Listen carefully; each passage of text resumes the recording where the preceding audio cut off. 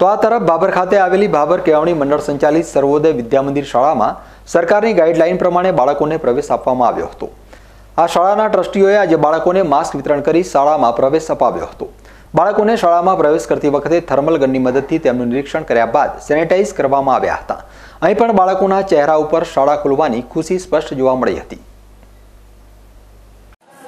સરકારશ્રીની guideline મુજબ આજે અગિયારમી તારીખથી શાળામાં ધોરણ દસ અને બારના વર્ગો શરૂ કરવામાં આવ્યા છે. તમામ વિદ્યાર્થીઓની સલામતી ધ્યાનમાં રાખીને શાળા દ્વારા પૂરતા પ્રયત્નો કરવામાં આવ્યા છે. દરેક વિદ્યાર્થીનું થર્મલ ગનથી ચેકિંગ કરવામાં આવ્યું. જે વિદ્યાર્થીઓ માસ્ક વિહોણા હતા, એ તમામ વિદ્યાર્થીઓને માસ્ક આપવામાં આવ્યા છે. તમામ વિદ્યાર્થીઓને પૂરતા પ્રમાણમાં સેનિટાઇઝની પણ વ્યવસ્થા કરેલી છે. કીટાણુનાશક સાબુની પણ વ્યવસ્થા કરેલી છે.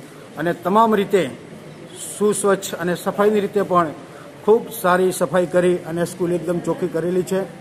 આશા છે કે તમામ વિદ્યાર્થીઓ શાંતિથી પોતાનો જે દસ અને બારનો અભ્યાસક્રમ છે, એ અભ્યાસક્રમમાં લાગી જાય, અભ્યાસક્રમ પૂરો કરે અને પરીક્ષાલક્ષી તૈયારી કરે.